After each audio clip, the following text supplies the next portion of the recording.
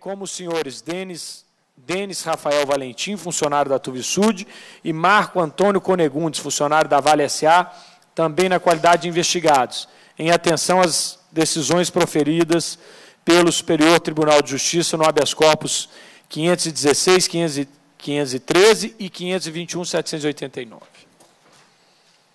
A presidência comunica que foi concedida liminar em habeas corpus pelo desembargador Marcílio Eustáquio Santos, da Sétima Câmara Criminal, aos pacientes César Augusto Granchamp e Marco Conegundes, deferindo o direito de comparecimento facultativo aos investigados. A presidência informa que foi apresentado um pedido de reconsideração da decisão ao referido desembargador, pedido este que foi negado, de forma que a liminar foi mantida aos dois investigados. A presidência informa ainda que, amparado em decisão anterior, proferida pelo ministro do STJ, Nefe Cordeiro, o convocado, senhor Denis Valentim, informou, informou que não compareceria a esta reunião. Também amparados em decisão liminar anterior, os convocados, senhora Cristina Malheiros, Renzo Albieri e Arthur Ribeiro, informaram que não comparecerão a esta reunião. Passa-se a terceira fase, da ordem, terceira fase da ordem do dia. Tem requerimento para ser votado? Alguma coisa? Não. Então, estou pulando a terceira fase. Comunicação. Não. Sim, está com ele pronto? Já que, mais uma vez, os investigados convocados a virem a esta comissão conseguiram, através de eliminar o direito do não comparecimento à não participação, esta comissão, esta presidência tem o dever de anunciar, obviamente, aqui, aqueles que ainda não sabem, é, que esta será a última reunião desta comissão pública. A partir de agora teremos reuniões internas é, para, para a confecção, obviamente, do relatório a muitas mãos, assim já disse o deputado André Quintão, que assim o fará, nosso relator, e para chegar... Ai, é. E para chegarmos... Você fala? E para chegarmos...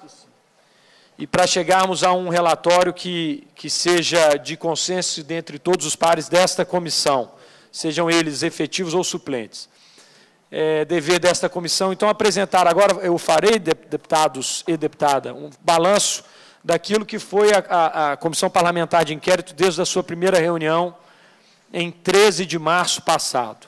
Tivemos 17 reuniões ordinárias, 14 reuniões extraordinárias, em torno de 120 oitivas, mais de 215 requerimentos aprovados, ofícios enviados, enviados a órgãos, pessoas e empresas.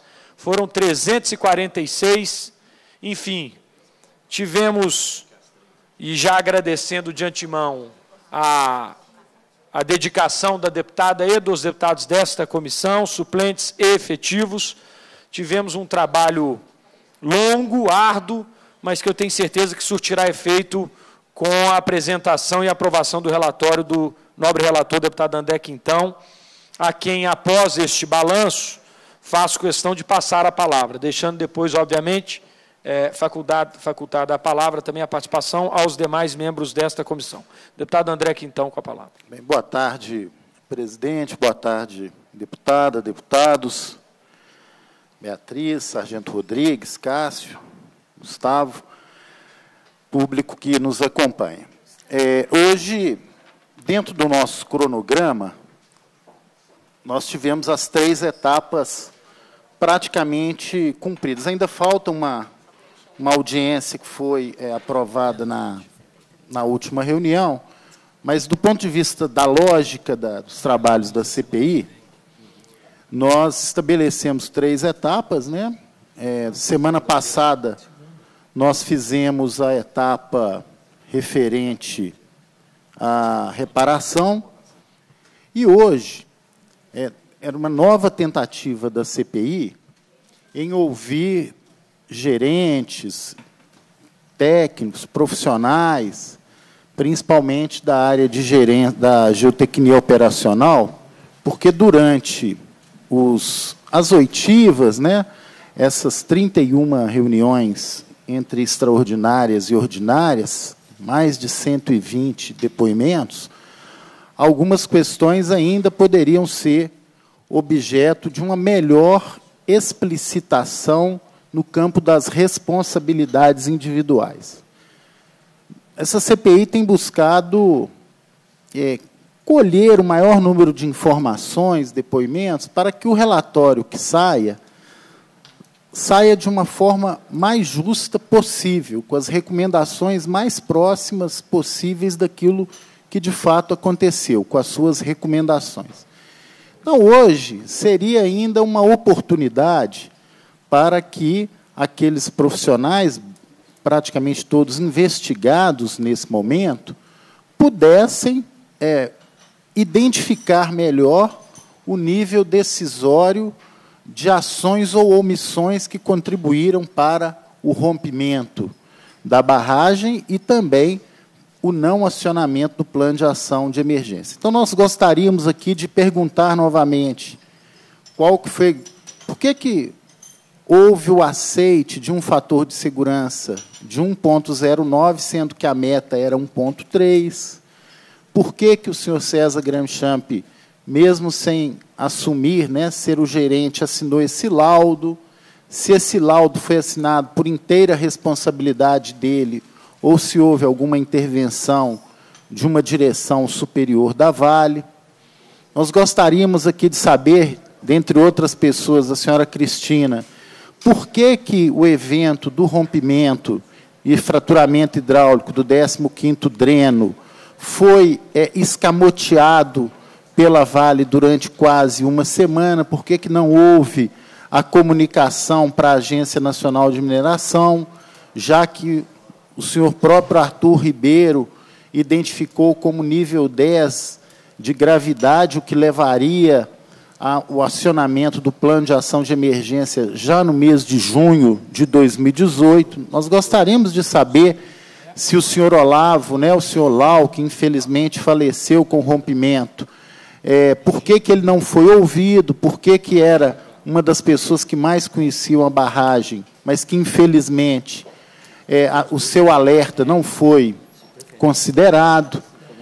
Gostaríamos também de ter mais informações, né, ou esclarecimentos, por que, que as detonações continuaram, inclusive no próprio dia 25, sendo que o relatório da Tuvisud recomendava como garantidor de estabilidade, uma das condições era exatamente evitar detonações naquela região. Nós gostaríamos de saber entre eles, se foi o Renzo, se foi a Cristina, quem recebeu a informação das leituras dos radares encaminhadas no dia 18 de janeiro, onde mostrava uma movimentação numa área de 15 mil metros quadrados e nenhuma providência foi tomada, seria aqui a oportunidade, porque o, o, o, depoimento do senhor Tércio aqui é límpido. Ele recolheu as, as informações, mostrou as anomalias e encaminhou todas elas para exatamente é, os seus superiores, né? E nenhuma providência foi tomada, né? E gostaríamos também de saber, né? E aí o senhor Marco Conegundes, que é o coordenador do plano de ação de emergência, não veio aqui por duas vezes, né, convocado, se recusou, se escorou na justiça para omitir informações, porque o fato é que esse plano ele tem um estudo e foi amplamente divulgado pelos trabalhos da CPI, pela mídia, de uma região de alto salvamento onde a lama chegaria com menos de 60 segundos, e de fato chegou, chegou com 34 segundos, e com rota de fuga para as pessoas entre 5 a 10 minutos. Então, é, isso para mim talvez seja, entre todos os fatos, o fato mais alarmante. Como que a Vale sabia que, para as pessoas fugirem da lama, elas teriam de 5 a 10 minutos e a lama chegaria em até 60 segundos. E a Vale deixou aquelas instalações, refeitório, unidades administrativas, trabalhadores e trabalhadoras expostas à chegada da lama em 34 segundos e com um plano de ação de emergência que mostrava que o trecho de fuga, a rota de fuga, levaria de 5 a 10 minutos. Então, seria um momento aqui de nós sabermos quem tomou a decisão ou não tomou a decisão de retirar aquelas unidades administrativas, de posse de todos os indícios de instabilidade da barragem, qual foi o escalão que tomou a decisão de não acionar o plano de ação de emergência, o PAI-BM? Essa é uma, uma. Infelizmente, e vou concluindo, senhor presidente, infelizmente, é porque também as sirenes, né? Ah, lá na pousada, a chegada da lama era em até quatro minutos, né? mas a sirene não funcionou, no Parque da Cachoeira não funcionou. Então, seriam perguntas é, que poderiam indicar uma, uma individualização de responsabilidade maior. Infelizmente, me parece é, que a estratégia foi, é, talvez, uma tentativa de é, confundir a CPI, de transferir é, responsabilidades de uma área para outra, de um técnico para outro, clara estratégia de uma blindagem em relação aos escalões superiores. Agora, os fatos estão é, absolutamente explicitados e, na condição de relator, senhor presidente, eu já me considero é, apto né, a iniciar esse trabalho, que vai ser um trabalho exaustivo, até porque nós teremos aí milhares né, de documentos ainda para serem confrontados, de notas taquigráficas, de depoimentos, de vídeos, de filmes, de gravações. É, então, é, acredito que chegaremos nessa fase que é a fase mais importante, que é a fase da construção desse relatório. E queria aqui fazer um apelo aos senhores deputados e senhora deputada para que a gente pudesse construir um relatório o mais consistente e que a gente criasse as condições políticas de, ao colocá-lo em votação, que ele refletisse a opinião média dessa comissão. E que, ao mesmo tempo, ele já contivesse, eu já mencionei aqui na reunião anterior, eu já solicitei formalmente é, um estudo aqui interno na Assembleia, para que a gente possa, seja por resolução ou deliberação da mesa, criarmos mecanismos de monitoramento e acompanhamento das recomendações dessa CPI. Isso é muito importante. E, se possível, que aquelas ações, aquelas medidas é, de responsabilidade da Assembleia Legislativa, a gente já pudesse, na apresentação do relatório, é, encaminharmos formalmente, se for o caso de alteração de lei, se for para acelerar projeto de lei já em tramitação, ou qualquer outra medida no âmbito da Assembleia, sabendo que no âmbito dos outros poderes a CPI fará recomendações, mas essas recomendações não ficarão esquecidas. Então, presidente, é lamentável que, mais uma vez, aquelas pessoas que têm uma responsabilidade, tiveram uma responsabilidade grande na condução das medidas de segurança, manutenção, funcionamento do complexo da mina Córrego do Feijão se escudem em defesa jurídica para omitir da Assembleia e da sociedade informações importantes. Agora, repito, é, a presença destas pessoas aqui poderia, é, inclusive, facilitar e indicar um nível de individualização de responsabilidade de níveis decisórios superiores. Uma vez que essas pessoas fizeram essa opção jurídica, política, não sei de que natureza outra foi, é, eu reitero aqui, é o mais importante a CPI já tem.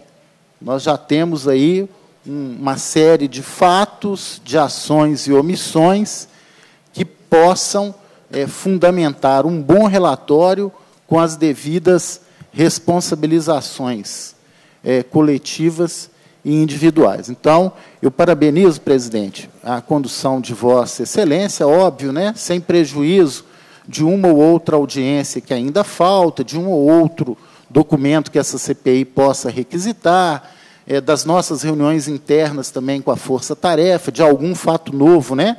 Porque a CPI te, terá o prazo de conclusão até 14 de setembro. Mas eu já adianto que chegou a hora de iniciarmos o trabalho aí de construção desse relatório final, porque, do ponto de vista, e Vossa Excelência fez o balanço, né, do número de oitivas, dos documentos requisitados, das reuniões ordinárias e extraordinárias realizadas, a CPI já tem hoje um material mais do que suficiente para apresentar um bom trabalho à sociedade mineira. Essas são as, as, palavras, presidente. Mais uma vez, parabenizo Vossa Excelência e os demais deputados e deputadas pelo empenho, afinco, dedicação e compromisso com essa CPI. Muito bem. É, agradecendo deputado André então, eu vou passar a palavra deputado Sargento Rodrigues, mas antes o faremos, farei isso novamente, faremos isso no momento da, do, do, no final dos trabalhos da CPI, mas é bom que fique claro também a dedicação dos nossos assessores, consultores, todos envolvidos aqui no dia a dia dos trabalhos da CPI. A, a todas elas e eles, o nosso agradecimento pela dedicação também, que foi, é, é, é, do, foi, foi do mesmo tamanho, se não até maior do que a dos deputados e da deputada desta comissão. Deputado Sargento Rodrigues, com a palavra. Presidente, eu quero primeiro é, referendar aqui as palavras do ilustre relator, deputado André Quintão, é, colocou aqui muito bem a posição enquanto relator, mas que reflete o entendimento conjunto dos deputados desta comissão parlamentar de inquérito. É, eu quero apenas lembrar, presidente, que nós temos aqui um requerimento aprovado e peço Vossa Excelência que possa pedir a assessoria da comissão que agilize a convocação dos representantes da empresa Brasil Século III Consultoria Limitada, da empresa Elijá Administração e Participações Limitada e Green Metais Soluções Ambientais SA.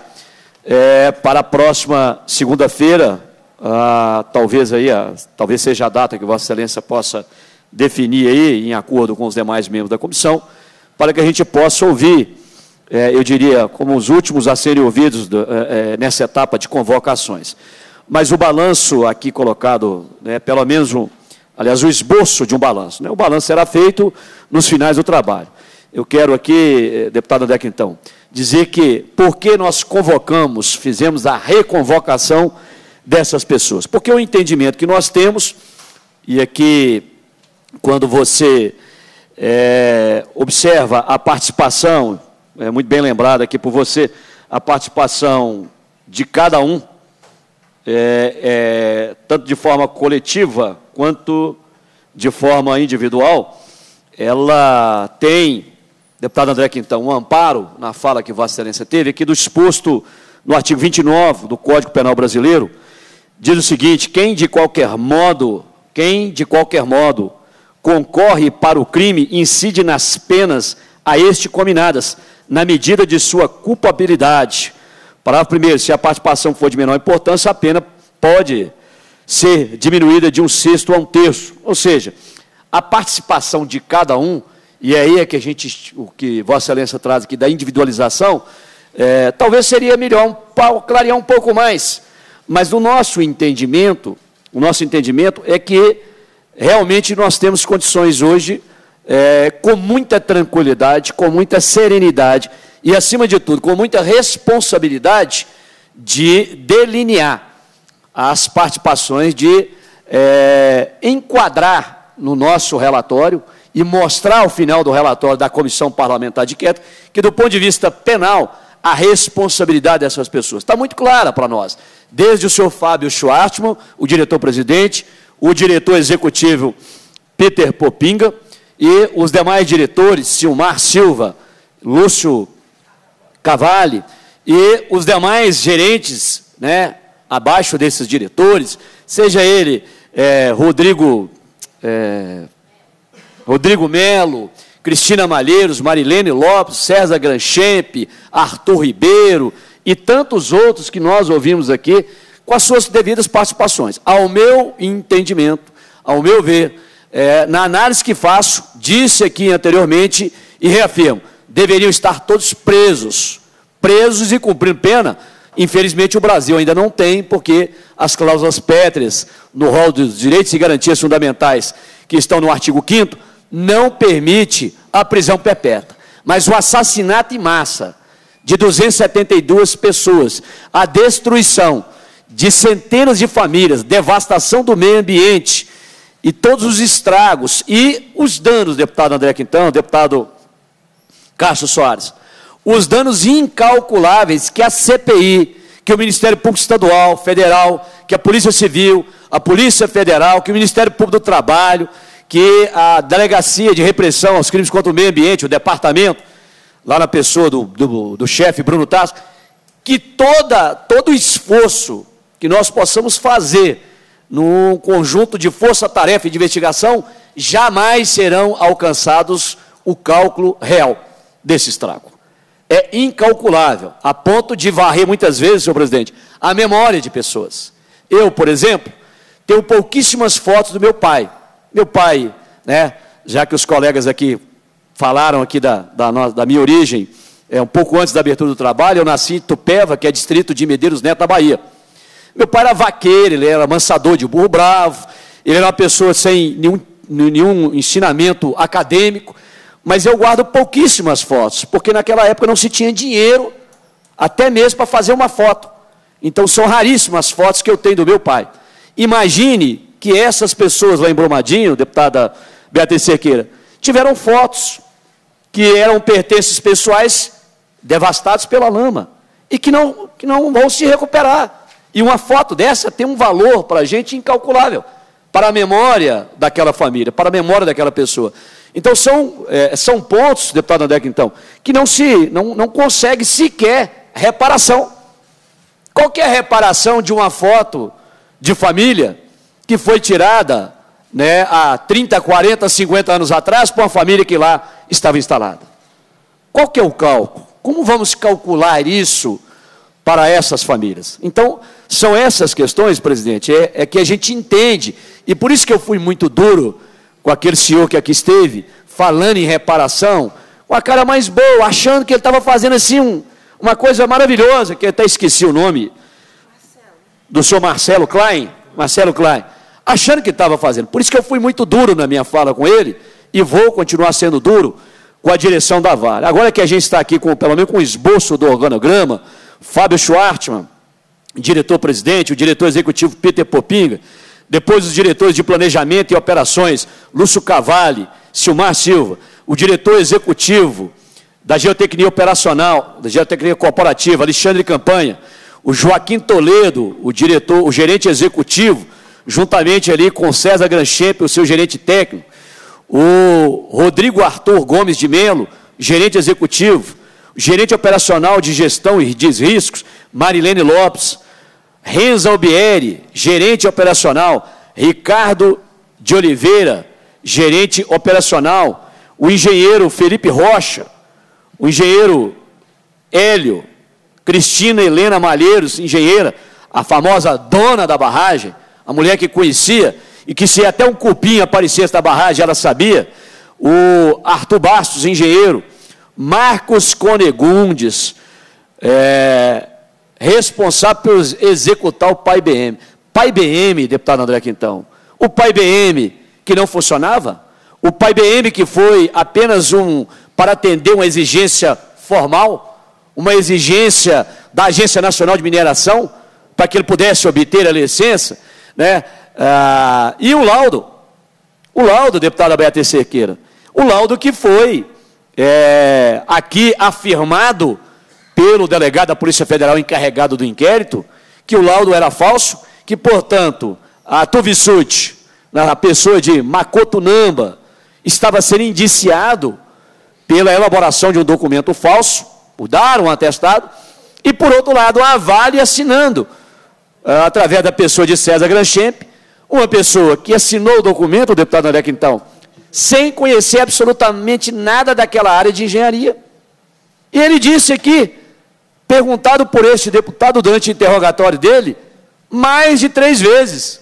Não, eu não conhecia. Mas então por que o senhor assinou? Porque eu, eu confiava na Marilene Lopes, eu confiava nos outros engenheiros que era da área da Vale, que portanto eu assinei. Olha, demonstra ali, presidente, demonstra ali, colegas deputado e deputada, a clareza de que, mesmo sabendo de todos os fatos, quando eles conheciam melhor do que ninguém o histórico daquela barragem, o histórico, eu falo histórico de problemas, de problemas que não foram sanados, devidamente sanados, conhecendo todo aquele histórico. E o fatídico dia de 11 de junho, com o fraturamento hidráulico, que era um, um episódio ocorrido gravíssimo e que a Vale tentou encobrir de todas as maneiras, mesmo trabalhando uma semana, dia e noite, com geradores ligados a noite inteira, para tampar as rachaduras desse fraturamento hidráulico,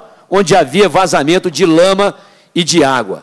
E buscaram-se a noite inteira, a semana inteira, carrinhos de, de brita, de areia, é, trouxeram a famosa manta geotêxtil para cobrir essas rachaduras e tentaram dizer que era um problema é, pontual e que era uma intercorrência, um fraturamento hidráulico. Até os termos técnicos utilizados para não chamar a atenção, eles fizeram isso.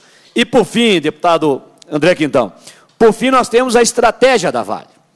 A estratégia que foi absolutamente repudiada pelo conjunto dos membros dessa comissão e, obviamente, identificada por nós rapidamente, da estratégia de tentar tutelar a tudo e a todos ao mesmo tempo, tutelando vítimas, testemunhas e ainda detendo, detendo o poder sobre o local do crime, que foi algo absolutamente gravíssimo. Detendo a, a, a manipulação que nós que somos da área policial, é, todo e qualquer local de crime, ao se chegar até ele, imediatamente tem que ser preservado, para que haja uma perícia, para que haja uma perícia independente. Mas o contrário, a Vale é que ficou protegendo e tutelando esse local, que foi um erro é, gravíssimo das autoridades públicas de permitirem, de permitirem. Então, a Vale usou de toda estratégia, a ponto de mandar advogados para esta comissão, sem que testemunhas convocadas por essa comissão tivesse o conhecimento ou solicitado qualquer auxílio de advogado. Então, por tudo isso, presidente, nós temos a convicção da responsabilidade e da participação de cada figura aqui citada. Ao meu ver, todos esses citados, todos esses, deveriam estar presos, todos, sem exceção de nenhum desses que nós citamos aqui neste organograma deveriam estar presos, aguardando o julgamento, presos, ao invés do Poder Judiciário, da forma que fizeram aqui, da forma que fizeram em outras ocasiões, ter dispensado, ter desautorizado a CPI a convocar essas pessoas, dizendo que eles só viriam caso desejassem, o Judiciário deveria ter feito o contrário. Deveria ter feito a prisão preventiva dessas pessoas, porque não foi um homicídio. Foi quase três centenas de pessoas mortas e de forma reincidente, porque a barragem Fundão, que estourou em, 15, em novembro de 2015, matou 19 pessoas, devastou o meio ambiente. Então, o Poder Judiciário, essas decisões, e aí não é todo o Poder Judiciário, mas essas decisões aqui pontuais, prestaram desserviço à Comissão Parlamentar de Inquérito. Inclusive, presidente, eu quero aqui, não sei se nós faremos aqui nesse momento, nessa, nesse momento, é, mas peço que Vossa Excelência solicite, né, solicite, fica aqui o meu encaminhamento, que Vossa Excelência solicite que diante dos fatos aqui colocados, das decisões, e citar as decisões e por quais motivos e a importância delas, que seja oficiado a todos os deputados federais, que é um requerimento que eu estou apresentando, todos os deputados federais, os 513 e os 81 senadores, para que trate imediatamente de reformular a legislação que trata das competências das comissões parlamentares de inquérito. Um requerimento aprovado pela comissão nossa deveria, não poderia, em, em momento algum, de ser, de ser desautorizado pelos membros do Poder Judiciário. Por qual motivo? Porque senão é balela, é letra morta dizer que a CPI tem poderes de autoridades judiciais. Que é isso que está escrito na legislação. Então, presidente, é, não só é, fica aqui a, sugestão enquanto requerimento, e que já pudesse ser talhado esse requerimento é, já de forma antecipada, para que a gente pudesse aprovar na próxima reunião ou nas reuniões seguintes, para a gente aprovar o requerimento, que seja encaminhado e demonstrando um histórico de quais foram as convocações, de quem foi convocado e das decisões judiciais, quem decidiu, o Tribunal de Justiça aqui de Minas Gerais, em decisões monocráticas, inclusive, e do Superior Tribunal de Justiça, o STJ. Alguma coisa precisa ser feita para robustecer, para fortalecer o poder investigatório de uma comissão parlamentar de inquérito, para quando a gente convocar essas pessoas, a gente não fique aqui desautorizado. Então, seria nesse sentido, presidente, obviamente sem prejuízo daquelas sugestões que nós podemos encaminhar à Câmara e ao Senado para aperfeiçoar a legislação que diz respeito ao monitoramento, à fiscalização e à punição efetiva. Eu sou da teoria de Hans Kelsen. Hans Kelsen dizia o seguinte: lei, né, aplicação de lei que não há punição, não tem sentido. É uma letra morta. Então, Kelsen é dessa teoria. Você tem que prescrever, você tem que discorrer sobre a conduta, você tem que tipificar a conduta e prescrever uma sanção. Sem sanção, a letra da lei é letra morta. Então é preciso ter punição severa nesses casos, inclusive do a desobediência. A prisão, a prisão por desobediência é uma ordem legal da CPI. Não veio, busca preso, solicita a Polícia Civil, a Polícia Federal, a Polícia Militar, que, com base na intimação da CPI, vá até esse cidadão e traga ele, no jargão judicial, sob vara. Ele quer vir aqui, nem que seja para ele ficar calado, que é um direito que ele tem aqui e até no próprio judiciário, perante o juiz, perante o ministro, mas que ele venha, que ele venha à comissão parlamentar de inquérito e diga que não sabe, que não vai falar, ou que é, se reserva o direito de falar apenas em juízo, como fez aqui Makoto Namba, com aquela cara mais lavada do mundo, com aquela frieza, dizendo aqui que não sabia de nada, que estava tudo bem. Então, presidente, por fim, é, eu entendo, deputado André Quintão, que nós temos sim, tranquilamente, todo o conjunto de informações, de documentos que chegaram até o conjunto dessa CPI, para pedir o um indiciamento de, no mínimo, no mínimo, o dólar eventual dessas pessoas. Repito, todos deveriam estar presos, mofando na cadeia, desde o dia 25, quando constatou aquela tragédia da morte de 272 pessoas, que inclusive, Beatriz Cerqueira, demorou muito, por causa das intervenções indevidas, irresponsáveis e criminosas da Vale, até na própria identificação dos seus próprios trabalhadores que estavam lá soterrados pela lama criminosa da Vale. Então, presidente, é, este é, é, é, esta é a minha observação nesse momento e, obviamente, parabenizar o conjunto é, dos deputados que se mantiveram firmes desde o primeiro momento, inclusive sofrendo críticas pontuais de uma parte da imprensa, mas que nós entendemos que o nosso papel nós estamos cumprindo e vamos entregar um relatório satisfatório. E no relatório, ali iremos reforçar o pedido de indiciamento das autoridades, né, reforçar a questão do dano é, material, do dano moral e, obviamente, a questão ambiental, sem prejuízo para sugestões. Aqui, na nossa casa, na nossa casa, a composição do COPAN, a quem pode indicar os membros desse COPAN, de que forma ele deve ser indicado, e também no aperfeiçoamento da legislação estadual, que é preciso. Inclusive aí, deputada Beatriz Cerqueira, com os atingidos em barragens. Essas pessoas precisam ficar muito bem amparadas na lei antes que aconteçam novos fatos, porque nós estamos assistindo a embromação, a enrolação, a, né, empurrando com a barriga as vítimas da barragem Fundão até hoje, como que eles estão fazendo, né?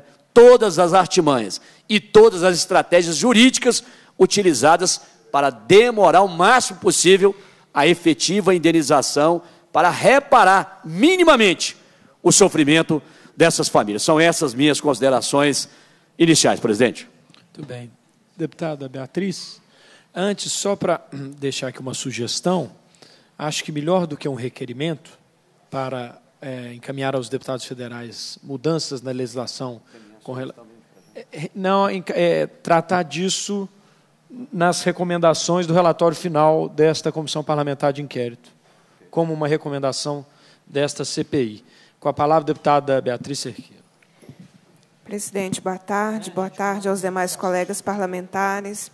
Presidente, é, queria, no sentido de acrescentar ao balanço é, da nosso, dos nossos trabalhos aqui da CPI, nós também realizamos é, duas visitas Acho que esse foi um, uma questão importante, porque a escuta das pessoas, eu acho que é muito importante. Então, nós visitamos a comunidade de Pires, também visitamos a aldeia Pataxós, e pudemos, como comissão parlamentar de inquérito, ir ao local e estar com as pessoas que estão enfrentando esse crime que nós estamos é, fazendo a investigação na comissão parlamentar de inquérito. Também realizamos duas audiências para escuta da população, uma na Câmara Municipal, em Brumadinho, e outra em Córrego do Feijão, onde pudemos também fazer a escuta da comunidade e tudo o que ela estava enfrentando. Também participamos de atividades da Comissão Parlamentar de Inquérito da Câmara dos Deputados. Nós fomos convidados e fomos a Brasília participar de uma audiência e também participamos de audiência da CPI da Câmara, realizada em Brumadinho e também outra realizada em Congonhas. Nós permanecemos também através das comissões permanentes da casa, atuando paralelamente naquilo que não pôde pela, pelo objeto né, bem definido da nossa comissão parlamentar de inquérito, nós também atuamos em comissões permanentes. E quero, com isso, presidente, também já dizer da nossa agenda na próxima semana, onde no dia 26 de agosto uma segunda-feira, nós daremos continuidade à discussão sobre a reparação da Renova em relação à água que é uma questão muito forte que será tratada na Comissão de Direitos Humanos, porque nós estamos diante de uma violação né, permanente dos direitos humanos. E na próxima semana farei a visita às escolas de Brumadinho, exatamente para dar continuidade a esse olhar, nesse caso, pela educação, de como o nosso, a população atingida por esse crime e que está na escola, como que essas questões têm se dado.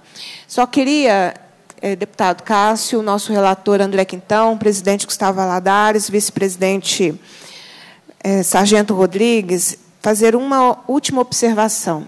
Eu acho que todo, de todo o processo da nossa comissão parlamentar de inquérito até aqui, acho que o fundamental, Gustavo, foi não termos perdido a humanidade, a capacidade de nos indignarmos diante da injustiça, a seriedade. Nós estamos vivendo um momento de luta entre civilização e barbárie. Daqueles que acham que têm o direito de matar, daqueles que acham que têm o direito de tacar fogo no corpo do outro, daqueles que acham que têm o direito de enaltecer essa barbárie. E ter uma comissão parlamentar de inquérito com a seriedade que, que tem sido este trabalho é fundamental para restabelecer é, a nossa luta contra a banalização do mal. Isso eu acho que são princípios civilizatórios fundamentais em qualquer é, atuação. É, então, queria fazer esse destaque né, da capacidade de, ao fazermos as investigações, da escuta, dos questionamentos, é, de ouvir investigados, testemunhas convocados, essa nossa é, capacidade de indignar, porque eu acho que a política serve para isso. Ela serve para o bem comum e nessa disputa da civilização contra a barbárie que nós nos encontramos no nosso país nesse momento. Obrigada. Agradecendo, deputada, deputada Beatriz Cerqueira, deputado Cássio Soares.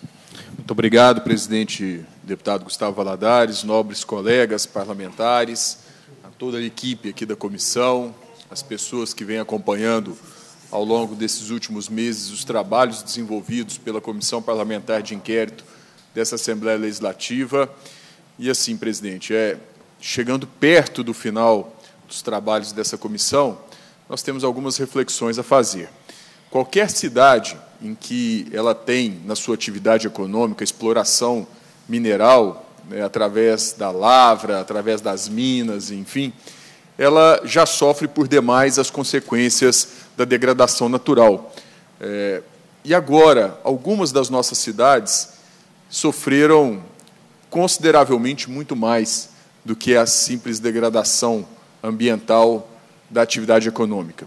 Nós tivemos em Mariana, o que todos já sabem, conhecem, aquela devastação é, enorme do meio ambiente, o sofrimento de toda uma comunidade de Bento Rodrigues, vítimas que estavam dentro de suas casas logo após o almoço eh, e tiveram as suas casas invadidas por lama, e agora, mais recentemente, Brumadinho, em que foi dizimado boa parte da população dessa cidade.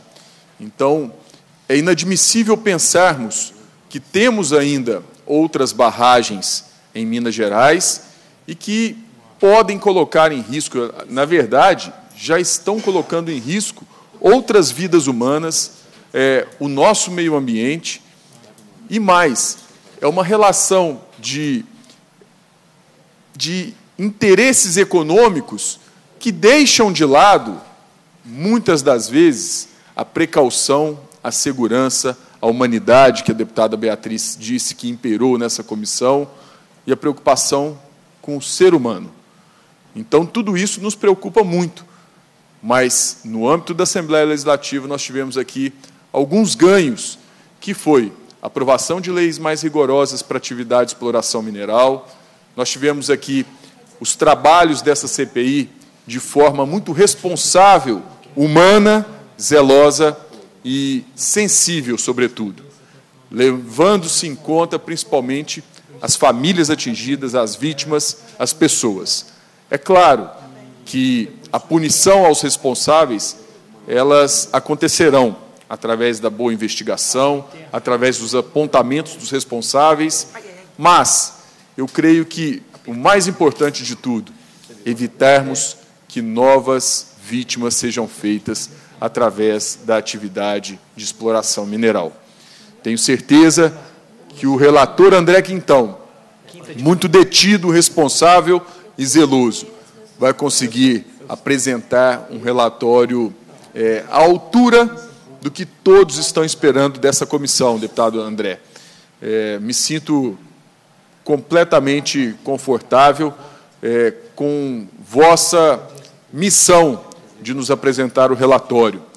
É, estamos aqui juntos e, sem sombra de dúvida, encerrar com chave de ouro os trabalhos dessa comissão, cumprimentando o presidente Gustavo Valadares, principalmente deputado Sargento Rodrigues, muito atuante, presente, deputada Beatriz Cerqueira, que sempre que necessário foi a campo ouvir as pessoas e as famílias, ou seja, todos que passaram esses últimos meses é, debruçados sobre essa matéria, vai conseguir dar respostas à altura do que o povo mineiro espera de nós. Muito obrigado, senhor presidente.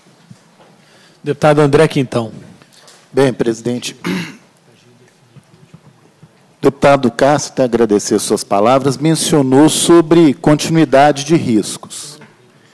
E vejam bem, e até gostaria é, de uma providência da, da CPE, ainda que não seja o objeto específico, é, hoje, nesse exato momento, está ocorrendo uma reunião em Brumadinho, é, conduzida pelo Ministério Público Estadual, existe uma barragem, barragem B1A da Emicom, é, desativada há 10 anos. Essa barragem está sob risco, condição de instabilidade. Existem é, cinco famílias é, que poderiam, em caso de rompimento, serem atingidas pelo eventual rompimento. E vejam bem a extensão, além disso, da gravidade é, um eventual rompimento pode chegar no Rio Manso e afetar o abastecimento de água de Belo Horizonte e da região metropolitana. Então, é, assim como nós estamos fazendo em relação a outras é, barragens, mas identificando que esta é no município de Brumadinho, eu sugeriria, até em função dessas vidas humanas e da questão da água, é, do risco de desabastecimento, é, que nós pudéssemos aprovar que hoje uma solicitação para a Comissão de Direitos Humanos, a pedido da CPI, a pedido, para a gente manter a nossa coerência, né?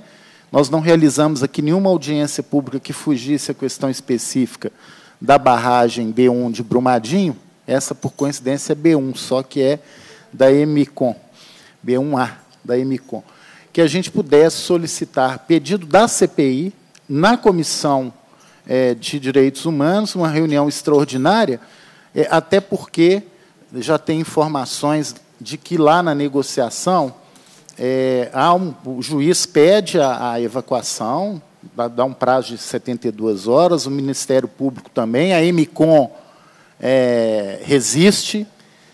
Então, acho que é muito importante, porque, além das vidas humanas, é o abastecimento de água, e para um município foi interessante, o deputado Cássio falou dessas consequências, exatamente hoje, essa nova questão aparece aqui à tona, e que a gente pudesse também fazer esse acompanhamento, ainda que através de uma audiência pública na Comissão de Direitos Humanos, e, enquanto integrantes da CPI, por se tratar do mesmo município, a gente acompanha esse debate que é altamente importante.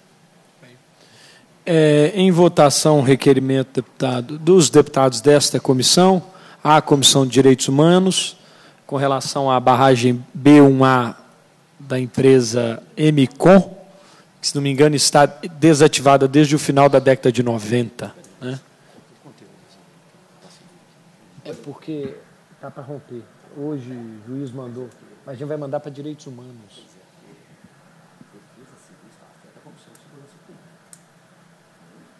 Quer fazer conjunto? Faz conjunto. Não, eu fico. Não, faz as duas. Então, mudando, ao invés da Comissão de Direitos Humanos, comissão. comissão não, é, é só. É, retificando, em vez da comissão.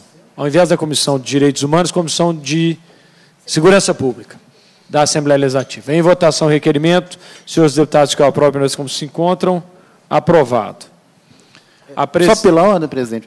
Só reiterando André. aqui o argumento, pela é, a importância e urgência, e uma vez que é, a questão também afeta a defesa civil, então o deputado Sargento Rodrigues, atuante nessa CPI, já assumiu o compromisso de colocar amanhã mesmo em votação. Muito bem.